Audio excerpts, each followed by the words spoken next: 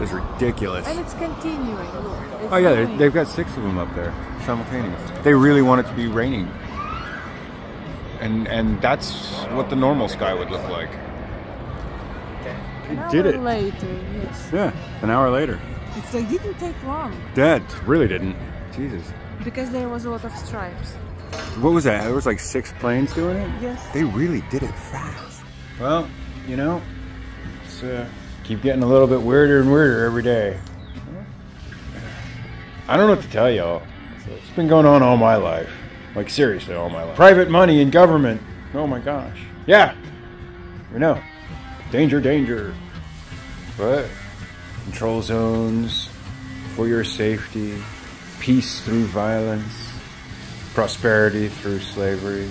None of this is new. All it takes is a lazy population for one generation, my generation, consumers. That's all it takes. And now, I think we can safely say that's all it took. A government that provides for its citizens controls its citizens. A citizen that provides for themselves controls the government.